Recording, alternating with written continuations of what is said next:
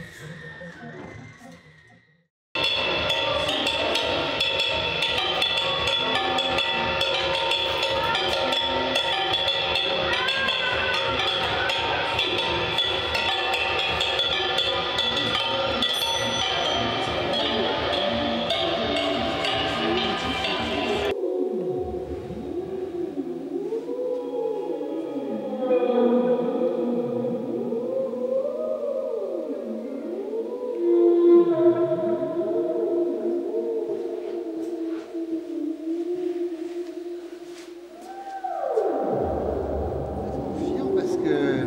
La totalité de votre volume, ça atteignait 22,90.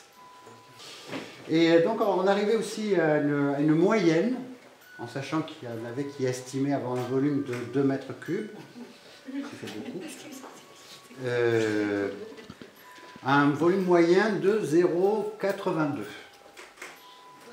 Le premier groupe faisait 12 mètres cubes 26, et avec le rajout du deuxième groupe qui